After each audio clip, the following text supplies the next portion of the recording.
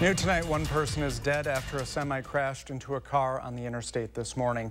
Just before 4:15, Wisconsin State Patrol received a call saying a disabled car was stuck in the lanes of traffic on I-39 at mile marker 161 near Edgerton. As officers were on the way, they got another call saying a semi had hit the car.